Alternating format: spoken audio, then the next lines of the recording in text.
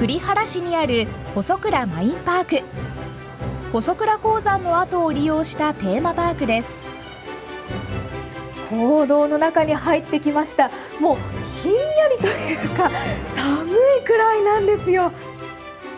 坑道の中は年間を通して15度前後。まさに天然のクーラーです。平安時代に発見されたと言われおよそ1200年もの歴史がある細倉鉱山はかつて国内有数の鉛亜鉛の産出量を誇りました。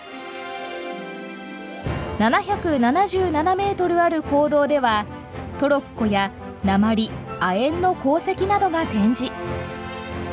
当時の作業の様子も忠実に再現されています。え？ここは事務所校内事務所なんですね。働いてる人たちの人形があるんですがすごくもう動きや表情がリアルですよね。また夏の間は子どもたちがアルミ缶を作って手作りしたカンテラが行動を照らし幻想的な雰囲気に。行動をさらに進むとでしょう。砂金取り体験場っていうのがありますね。鉱山では当時金も産出されていました。訪れた子どもたちも夢中です。難しい。砂とか落とすのとか。制限時間は20分。果たして取れるのか？えこれこれこれ金じゃないですか？ああ二つもある。すごいすごい。金見つけました。嬉しい。取った砂金はカードにして持ち帰ることができます。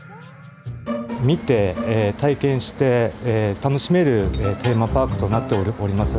ご家族でよくあの涼みに、え来られる、えお客さんは結構おりますね細倉マインパークの隣にはスライダーパークもあります。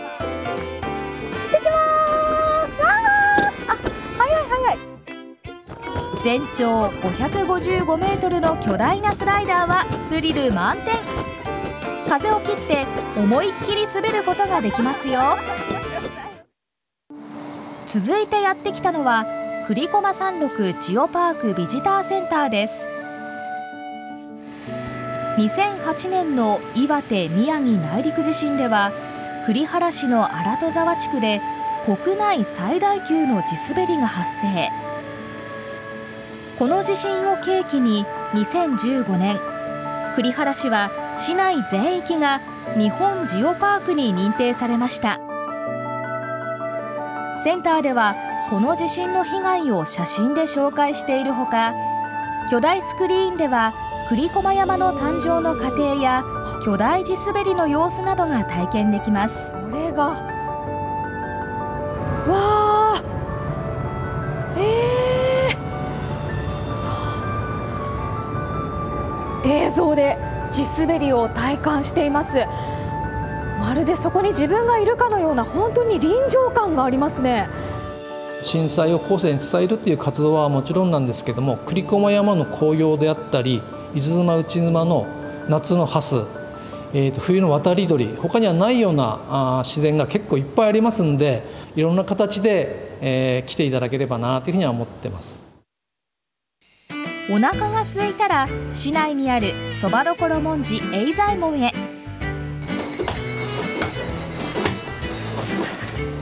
店主の菅原利元さんは元郵便局長でそば打ちの趣味が高じて退職を機に今年5月店を開きました。一番人気はつなぎを使わず打った十割そばです。